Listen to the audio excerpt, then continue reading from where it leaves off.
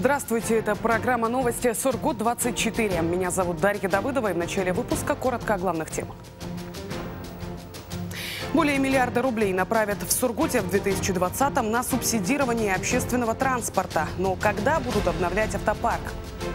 Помочь ребенку-инвалиду ОНФ нашел спонсора, который за свой счет установит пандус на лестнице 56-го дома на проспекте Ленина. То, что дает энергию, чуть не лишило жизни. Врачи городской клинической больницы спасли девочку, пищевод которой прожгла обычная батарейка.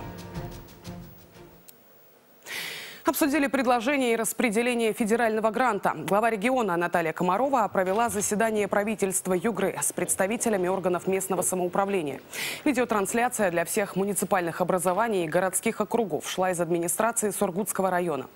Обсудили вопросы организации школьного питания детей, которые болеют, например, сахарным диабетом. Для них с 1 января 2020 года будут готовить отдельные диетические блюда.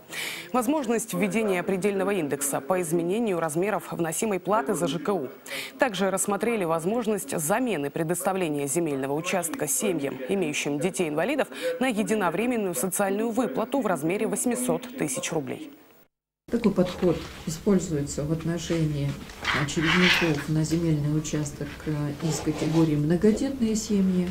Сейчас он будет распространяться по этому предложению и на, льготников, э, имеющих право на бесплатное получение земельного участка. А, это категория э, семьи, имеющие детей-инвалидов. Также Наталья Комарова сообщила о том, что правительство России выделило Югре грант в размере 1 миллиарда 156 миллионов рублей. Все средства решили распределить между 18 муниципальными образованиями. Так из этой суммы Сургут получит 74 миллиона рублей. Сургутскому району направлено чуть более 43 миллионов. Лидируют по размеру вложений Нижневартовск и Ханты-Мансийск. Им отдадут по 80 миллионов рублей. Руководители муниципалитетов вправе самостоятельно самостоятельно решать, на какие нужды расходовать выделенные средства. Глава Сургута и вместе с тем секретарь местного отделения «Единой России» Вадим Шувалов встретился с единомышленниками. За круглым столом обсудили важные партийные программы, поговорили о достижениях единороссов и членов молодой гвардии. Затронули проблемы Сургута и реализацию нескольких запланированных крупных проектов. В частности, строительство научно-технологического центра в нашем городе. Сумма инвестиций в него будет равняться 50 миллиардам рублей. Шести спортобъектов по концессионным соглашениям. Центральной темой стали итоги 19-го съезда «Единой России», который проходил в Москве. Вадим Шувалов подчеркнул, что главная задача партийного человека – это защита, забота и служение интересам населения. Первое, потому что согласен, потому что сам как бы проповедую такой вот э, посыл, который тоже э, наш президент. Это защита, забота наших граждан, ну и вот это служение, которое как бы осуществляет тоже э, именно как, и как глава города, считаю, что это действительно важно. Это важно, чтобы мы понимаем служение тем людям, с которыми ты живешь в этом обществе.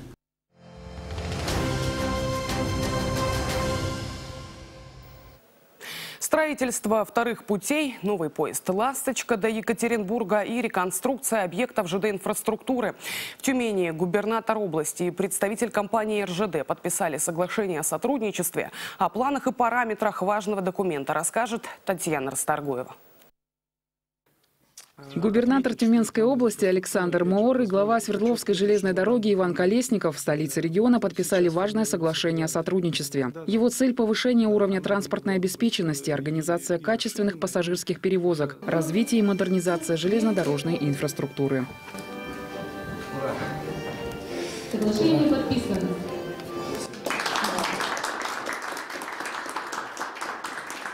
Встреча губернатора Тюменской области и главы Свердловской железной дороги прошла в преддверии старта знакового проекта. 9 декабря от вокзала областной столицы в первый рейс до Екатеринбурга отправится современный состав «Ласточка».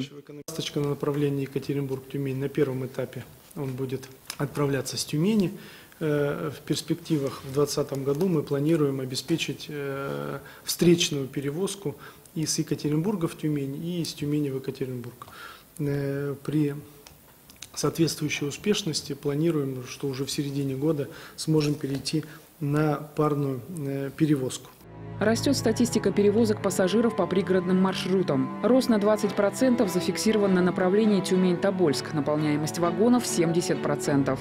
В прошлом году на направлении Тюмень-Тобольск начал курсировать обновленный подвижной состав. 8 современных комфортабельных вагонов. Они брендированы в стиле национального туристического проекта «Императорский маршрут». И все мы отмечаем этот проект как один из самых таких удачных. В следующем году власти Тюменской области приобретут еще шесть таких вагонов. Ведется обновление железнодорожной инфраструктуры. Инвестиции компании РЖД увеличились более чем на четверти, составили около 5 миллиардов рублей. Мы в своем бюджете ежегодно предусматриваем субсидии, которые сохраняют тариф для жителей региона на социально доступном уровне. А, не остается без внимания и развития инфраструктуры, создаются комфортные условия для пассажиров на вокзалах Тюменской области – Строятся новые железнодорожные пути, получают развитие станции и грузовые терминалы. Закончена реконструкция пешеходного моста над путями в Тобольске. В следующем году отремонтируют переход в Тюмени. Следующий этап – строительство высоких платформ. В этом году в РЖД отчитались о завершении крупного инвестиционного проекта. В текущем году завершился реализацию стратегический проект по строительству вторых путей на направлении Тоболь-Сургут. Э, огромный объем работы был проделан. Э, важнейший проект с точки зрения обеспечения вывоза э, продукции нефтегазового комплекса в Сибири. И, безусловно, э, мы понимаем, насколько это было своевременно с учетом роста, тех ростов отгрузки, которые на сегодняшний момент осуществляются. В Сургутском регионе Свердловской железной дороги грузооборот неизменно растет. Погрузка товаров за 10 месяцев здесь выросла на 2% и достигла показателя в 20 миллионов тонн. Львиная доля от этой цифры – нефтепродукты и горюче-смазочные материалы. Татьяна Расторгуева, Дмитрий Круковец, Вячеслав Шаркунов, Сургут Интерновости субботу аналогичное соглашение между РЖД и правительством Югры подпишут в Сургуте. Наталья Комарова и Иван Колесников согласуют документы о взаимодействии и сотрудничестве в области железнодорожного транспорта на ближайшие три года. В рамках переговоров запланирована презентация подвижного состава. Не исключено, что стороны обсудят тему реконструкции Сургутского ЖД вокзала. Результаты конкурса ранее отменила Федеральная антимонопольная служба. От первоначальных планов по реновации городской станции отставания образования составляет уже около 9 месяцев. Разные методики. Бюджет Сургута рассчитали из прогнозных данных численности населения города. Все цифры согласовали с окружными властями. По финансово-экономическим данным на 2018 год в Сургуте проживали 370 тысяч человек. Прогноз на 2019 – 377 тысяч. Планы на 2020 – 382 тысячи человек. В реальности, по данным ОМВД, о которых говорил заместитель главы Алексей Жердев, в Сургуте зарегистрированы более 400 тысяч тысяч жителей. Кроме того, в крупнейшем муниципалитете Югры на непостоянной основе проживает около 50 тысяч мигрантов. Между тем, численность населения является одним из показателей, по которому окружные власти рассчитывают размер дотаций городам и поселениям региона. Прежде чем мы начинаем э, взаимоотношения с округом, по межбюджетным трансфертам. Есть свой порядок, установленный Депфином округа, по которому нам э, они доводят показатели, в том числе и численность населения, которую мы согласовываем на основании основ... э, официальных данных статистики. Эти показатели с округом согласованы. Окружные власти пользуются методикой, утвержденной законом о межбюджетных отношениях. Один из пунктов указывает, что за основу берут официальные данные статистики, причем за год, предшествующий планируемому периоду. Численность населения влияет на размер дотации, потому как частью является подушевой. В проекте бюджета Сургута, который на следующей неделе представят на обсуждение депутатам Думы, в полном объеме заложено финансирование на субсидирование пассажирских перевозок. В конце прошлого года из-за недостатка средств средств власти города пошли на сокращение числа субсидируемых маршрутов с 22 до 9. В результате цена проезда по ряду направлений на несколько дней поднялась с 25 до 35, а в некоторых случаях до 50 рублей. Перевозка пассажиров у нас занимает достаточно э, большую часть в бюджете. На вскидку это более 800 миллионов, то есть уже цифра к миллиарду приближается. Эм, только это не субсидии. На протяжении ряда лет мы проводим конкурсы по 44 закону и на конкурсной основе привлекаем перевозчиков. Э, средства предусмотрены и на действующие автобусные маршруты, э, на традиционные летние перевозки пассажиров, то есть транспортное обслуживание будет обеспечено. Стоимость проезда в общественном транспорте Сургута в 2020-м сохранят. Ценник на автобусный билет сейчас составляет 25 рублей. На проезд в маршрутках 30. По двум направлениям 40 рублей. На субсидирование общественного транспорта на 2020 в бюджете города закладывают более 1 миллиарда. Об этом рассказал заместитель председателя Думы муниципалитета Артем Кириленко. Он отметил, что за последние два года сумма, которую направляют из городской казны на помощь перевозчикам, выросла на 200 250 миллионов рублей. Тарифы существуют двух видов – регулируемые и нерегулируемые. Размер первых устанавливает округ. Отказываться от какого-либо типа не планируют, поскольку сохранение обоих дает больше возможностей для конкуренции. Также сургутские депутаты поставили перед администрацией задачу проанализировать схемы движения общественного транспорта с учетом появления новых микрорайонов. Нами, депутатами, поставлена задача, э, э, чтобы администрация обеспечила разработку э, новой схемы организации дорожного ну, движения общественного транспорта. Вот. Как показывает практика, в других городах это приводит к определенному эффекту. Маршрутная сеть она оптимизируется, уменьшается количество маршрутов и приводит к экономии бюджетных средств. И к повышению, конечно же, удобства для пассажиров. О повышении удобства пассажиров думают и в другом направлении. В части обновления автопарка. Артем Кириленко отметил, что конкурсы, которые сейчас разыгрывают между перевозчиками на обслуживание городских рейсов на грани рентабельности. То есть у владельцев компаний просто нет лишних средств на покупку новых автобусов. Не мешало бы повысить и комфортность транспорта акционерного общества «Спопад», акциями которого владеют городские власти. Какие меры будут предпринимать в Сургуте, чтобы сделать автобусы и маршрутки удобнее? А также о новых направлениях, по которым хотят запустить рейсы, мы расскажем в эти выходные в программе «Новости главное».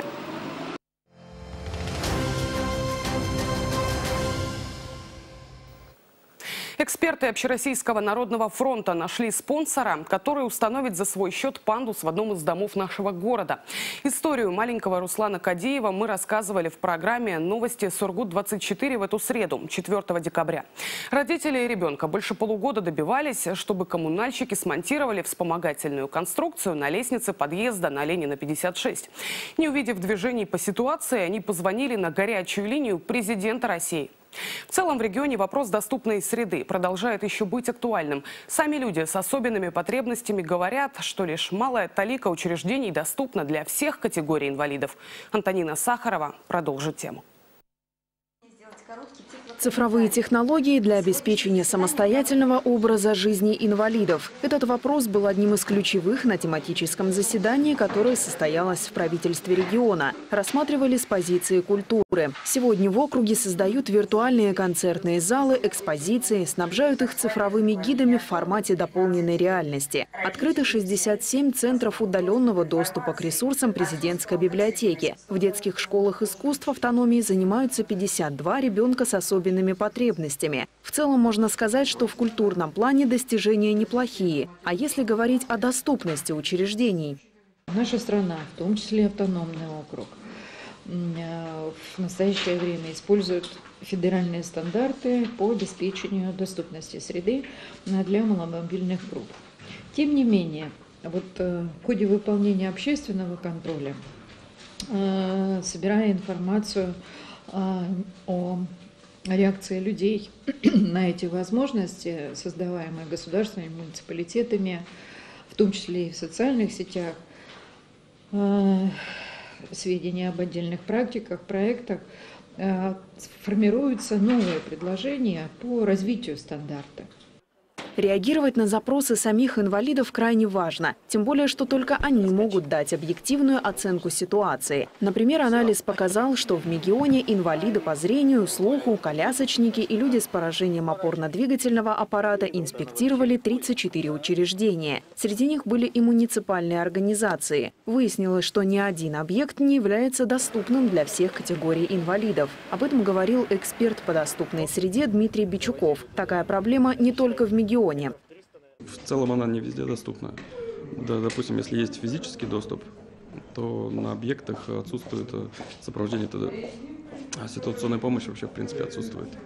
Допустим, если есть физическая доступность для колясочников, опорников, без проблем проходим, получаем услугу, то для, например, слабослышащих э, и слабовидящих это проблема.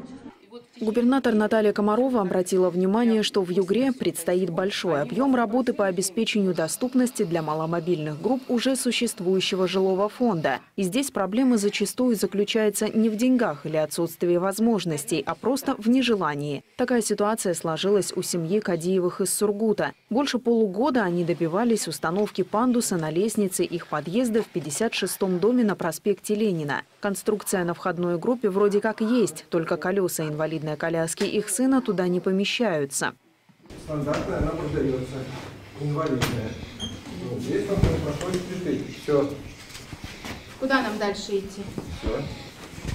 Здесь мы берем это все на руки и сносим. Да, либо муж ребенка я коляску, либо наоборот.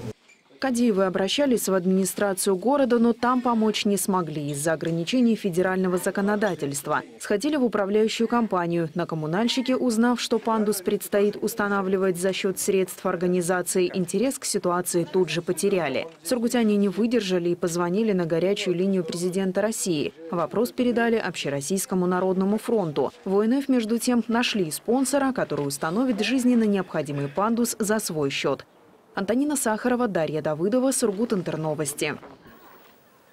Умные квартиры для маломобильных югорчан. Первую такую создали в округе по замыслу волонтера Ирины Башмаковой. У нее редкое генетическое заболевание, которое приковало женщину к инвалидному креслу. С помощью цифровых технологий она может открывать двери в комнаты с помощью мобильного телефона. В квартире установлены различные сенсорное оборудование и другие полезные гаджеты. Идею презентовали на профильном совете при губернаторе. Наталья Комарова идею поддержала и призвала масштабировать ее на весь округ. Глава региона отметила, что маломобильные югорчане должны иметь беспрепятственный доступ ко всем социальным и культурным объектам. Мы начали работу по разработке внедрения а, регионального стандарта беспрепятственного пользования жилыми помещениями лицами с инвалидностью, а также стандарта благоустройства дворовых территорий, а, в том числе наемных домов, или в первую очередь наемных домов и а те, которые используются, и те, которые предназначены для социального использования. Еще одна концессия. Администрация Сургута направила в Думу города документы по согласованию заключения соглашения на строительство школы в 38-м микрорайоне. Она должна появиться за ТРЦ «Аура». Земельный участок еще не сформирован. Планируемый срок постановки на кадастровый учет – май будущего года. Завершено проектирование дороги, ведущей к объекту образования. Бюджету города и округа школа на полторы тысячи мест общей площадью почти 12 тысяч квадратных метров обойдется в почти 2,5 миллиарда рублей. В случае одобрения строить объект образования начнут не позднее января 2021 года, ввод в эксплуатацию через год. Предполагается, что концессионера определят по результатам конкурса. Депутаты Сургутской думы рассмотрят вопрос сначала на слушаниях, а затем на 14-м внеочередном заседании 9 декабря. Один миллион в помощь погорельцам. Администрация Сургута просит выделить деньги жителям сгоревшего дома номер 4 в поселке Дорожном. Этот вопрос депутаты городской думы также обсудят на специальных слушаниях 9 декабря. Затем в тот же день за или против этого решения народным избранникам предстоит проголосовать на внеочередном заседании парламента. Проект направлен на оказание финансовой помощи семьям с детьми. В том случае, если парламентарии поддержат инициативу, по 100 тысяч рублей получат. 10 семей. Внедрение регионального стандарта кадрового обеспечения промышленного роста. Этот вопрос обсудили в Ханты-Мансийске на окружном инвестиционном совете.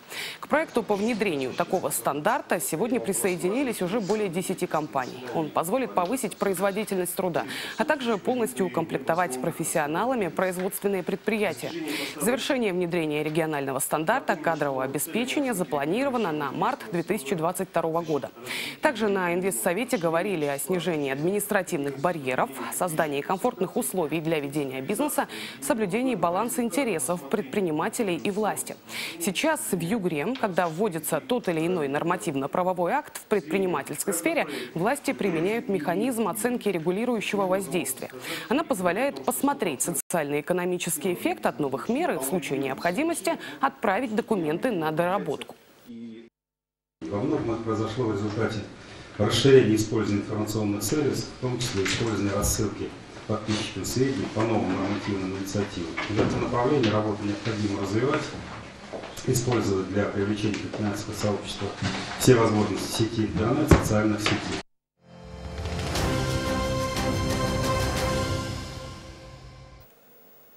Чудо, что успели вовремя. Из Сургутской городской клинической больницы сегодня выписали маленькую девочку. Свете год и два. Она пробыла в реанимации почти месяц и перенесла около десятка операций. Все из-за небольшой батарейки таблетки, которую она проглотила. Об истории со счастливым концом. Дмитрий Круковец. У старшего ребенка, получается, был спиннер, э, которого одна из третей была с кнопочкой, э, с лампочкой. Этот спиннер уронили, разбили, получается, из него высыпалась куча запчастей. И вроде бы все собрали, но, как выяснилось, что собрали не все. Игрушка в семье Прокопенко разбилась еще в конце октября. Когда дочери через три дня стало плохо, с довольно-таки рядовой ситуацией ни родители, ни врачи проблему не связали. То, что ухудшение самочувствия девочки и разломанный спиннер – это звенья одной цепи, стало понятно позже. Лечили нас от пищевого отравления. На следующий день ребенку хуже-хуже, смектой отпаиваем, не помогает. Скорую вызывали. Скорая тоже нам сказала, легкие чистые, поставила кишечную инфекцию. В 10 утра поехали ложиться в инфекционное отделение. Там заведующая инфекционного отделения не понравилось, наконец, ее дыхание.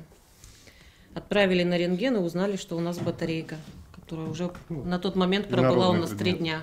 Девочку привезли в городскую клиническую больницу на машине скорой помощи и сразу же положили в реанимацию. Состояние годовалой Светы врачи оценивали как крайне тяжелое. Это инородное тело, оно достаточно длительно простояло в пищеводе, вызвало электрохимический ожог, прободение в правую плевральную полость, то есть туда зашел воздух, туда зашло содержимое, вот, которое потом нагноилось. У девочки развился сепсис, это достаточно тяжелое состояние, которое очень часто приводит к летальным исходам.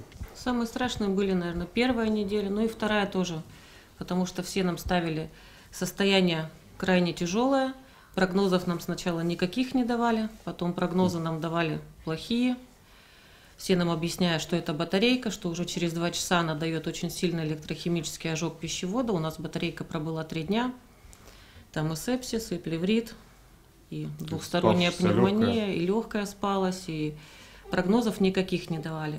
Ну, как бы это было очень страшно приезжать, видеть своего ребенка, лежащего без сознания.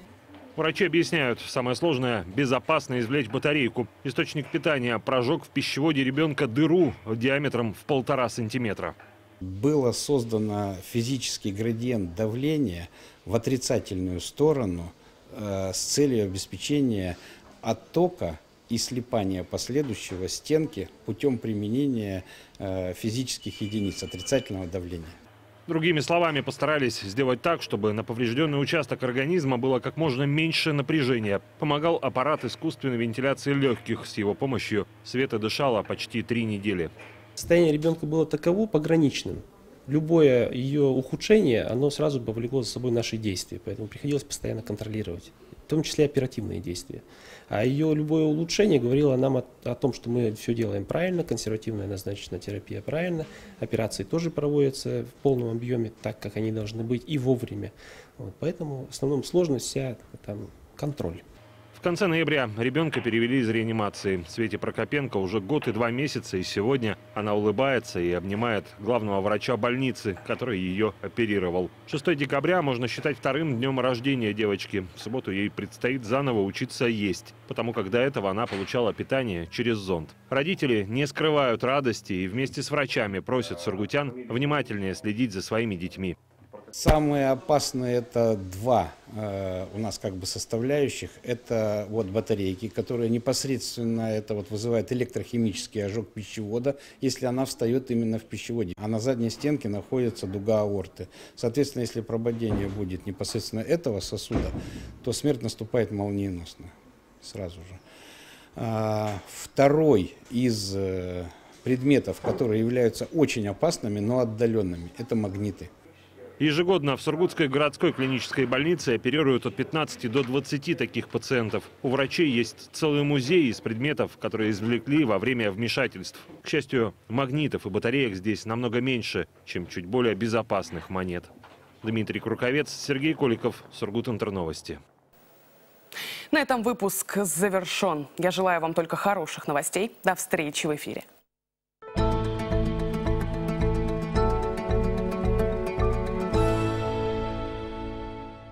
Профессиональные мастера из Таиланда в салоне спа-массажа Тайрай. Не знаете, что подарить? Подарите себе и своим любимым красоту, здоровье, молодость. Большой ассортимент мебели для дома и офиса по низким ценам и с хорошими скидками. Вся мебель в наличии. Евроофис. Улица Островского, 26. Ищите врача, которому можно довериться? Центр эндокринологии «Здраво» – это врачи-звезды в одной клинике. Высокопрофессиональные эндокринологи, аллергологи, гинекологи, неврологи, гастроэнтерологи, высокоточные анализы и диагностика, детские специалисты. Обращайтесь с любыми симптомами. 11 лет безупречной репутации. Доступные цены, доброе отношение. Телефон 550 146. Появились растяжки, и ты прячешь свое тело от мира и мужчин, хотя раньше любовалась собой. Пора выйти из тени. Коррекция растяжек по последним достижениям науки. Косметология будущего Голдберг. Улица Ленина, 18. Телефон 500 118. Энергия страны – это сила Сибири. И твой город – это город сильных и успешных людей. А жилой комплекс «Кедровый лог» – это его исторический центр. Квартиры с видами на любимый город рядом со всей инфраструктурой Сургута. Парки и скверы, концерты и кино в пешей доступности. Подземный паркинг и высокая энергоэффективность. «Кедровый лог» – комфортный дом в атмосфере центра.